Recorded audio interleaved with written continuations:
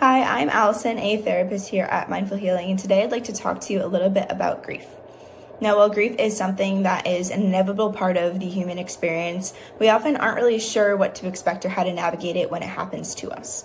Now, for teenagers, this can be exceptionally challenging. They are also navigating the transition from childhood into adulthood, hormonal changes, and navigating their own identity. Grief can have an intensive impact on both emotions, behaviors, and overall day to day routine. Now, in coping with grief, there's often really no set skills or way to manage the grief.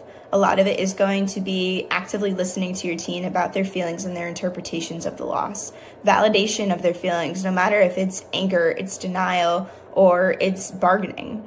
You know, we often hear about the seven stages of grief and how they go in order and things like that. Um, but those seven stages can be multifaceted. A lot of times, teens can be in anger and denial for a really long period of time. They might be in shock for a period of time.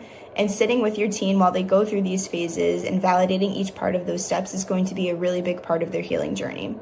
Another thing that can be helpful to stay connected to the family member, loved one, or pet that they have lost is to have a memory box.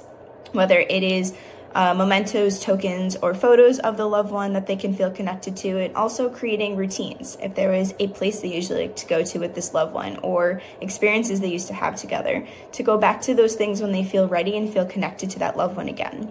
Ensuring that they can still have a relationship with the person they have lost, whether they are spiritual or through routine or through just talking about them and their memories, keeping that person alive is going to create a lot of solace for the teen. For more information about grief and loss and ways to help your team cope, check out Mindful Healing's website.